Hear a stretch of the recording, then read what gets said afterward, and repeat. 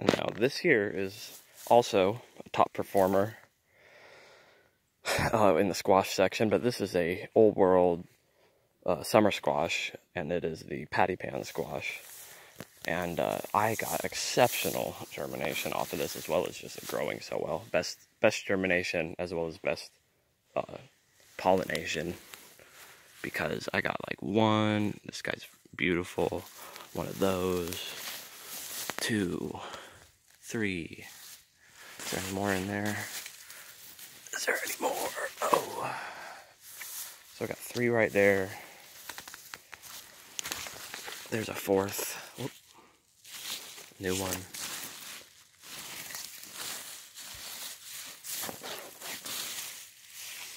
I swore I had some other ones right over here, but maybe animals got them. Oh, there's a fifth.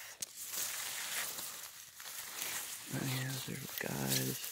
There's a new one attempting to come, which I, I, I wouldn't be surprised if it got fertilized. I might even help it along if I need it. Oh, here's one. Six, possibly a seventh, and then an eighth if you count the other one that might be coming. So, uh, seven, seven, eight, nine, give or take, possibly some more depending on what gets pollinated. I do think I lost a few, but I, they left no trace. Whatever ate it. I do have rodents in here, screwing around occasionally.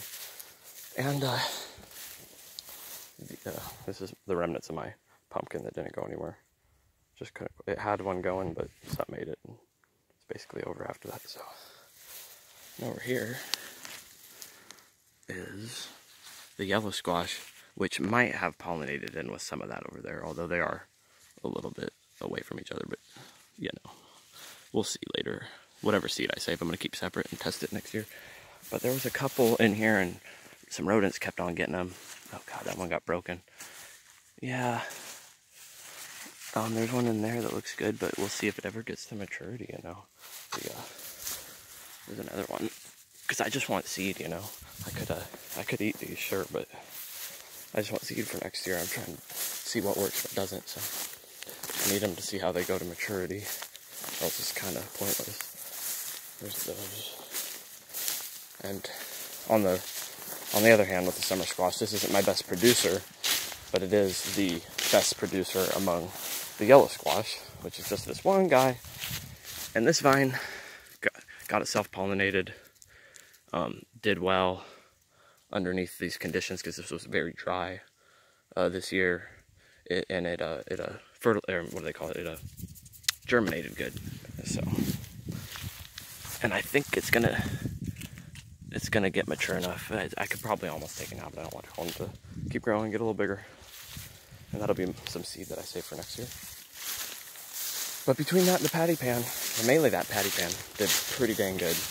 And I'm gonna have a lot more of it next year. And next year, those new genetics that come through will be even more advantageous to what we're trying to do here. Growing plants with essentially zero effort because there's lots of other things you got to do, and nature should be something that works with you, you know, not something you have to throw exceptional amounts of energy into. Oh, look at that. Those will be nice. And they'll probably get pollinated. You know, that's the interesting thing is that if these do get hybridized with the yellow squash, that's a desirable hybrid that I'll be able to play with next year and possibly develop from there. So, not this is why I, I took the chance to plant them close together, knowing that might happen. So, good news, good news.